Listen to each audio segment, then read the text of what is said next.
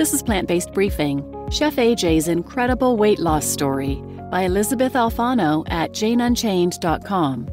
And I'm Marian Erickson, host of this curated content plant based podcast, where I narrate a variety of articles and blogs with permission in about 10 minutes or less every weekday.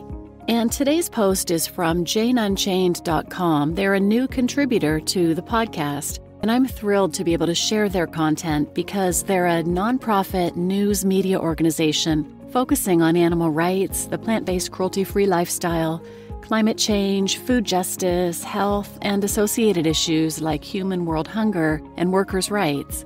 They profile vegan activists and celebrities and report on animal rights news, issues, and events. Basically, they're bringing the world crucial information that's ignored by advertiser based mainstream media. Jane Unchained was founded by Jane Velez Mitchell. She's a nationally known TV journalist and best-selling author.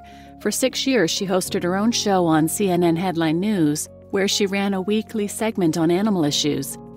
Jane Unchained has a free vegan TV app and streaming service called Unchained TV.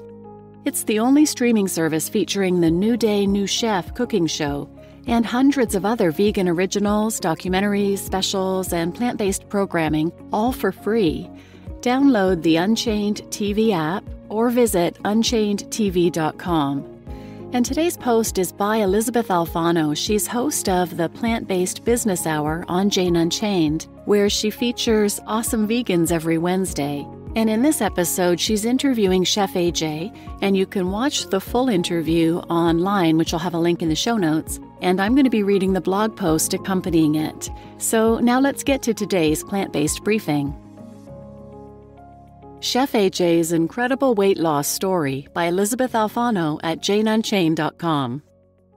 Chef AJ tells her incredible weight loss story and how this catapulted her life to books, media, and the ultimate in happiness, feeling great.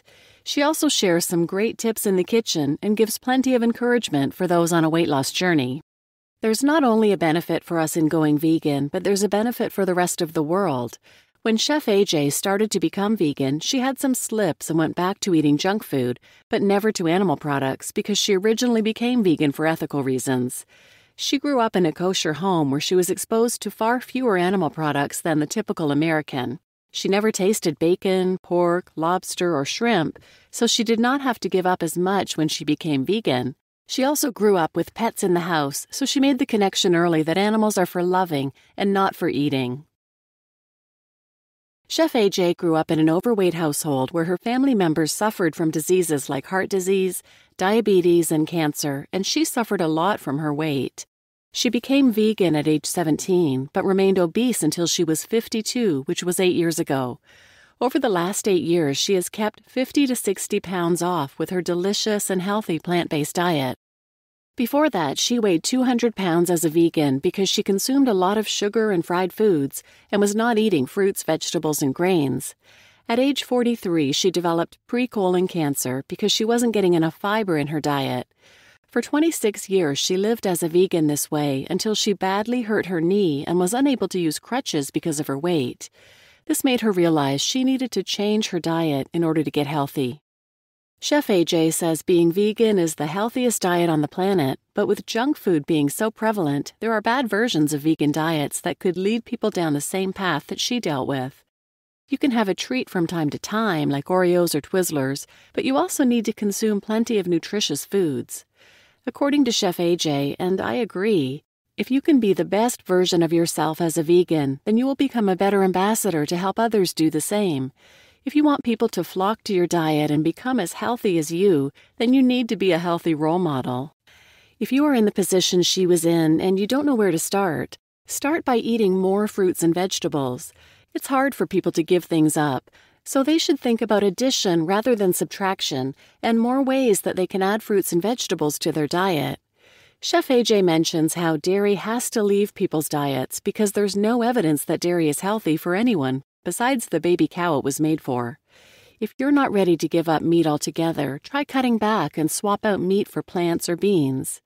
There's so much variety in vegan diets, and it's not so much about missing foods because you have so many options. If you compare the few kinds of animals people eat to the 18,000 different kinds of beans and how many different vegetables there are, it gives you so many more options. So many vegan recipes are easy to make, which shows that it does not have to be as difficult of a transition as people think.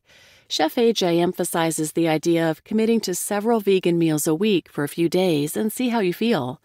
Chances are you will feel much more energized and healthy, which will make you want to continue eating that way. Chef AJ only eats two meals a day because that's what she has always done. She never wakes up hungry, so she doesn't eat breakfast and just sticks to lunch and dinner.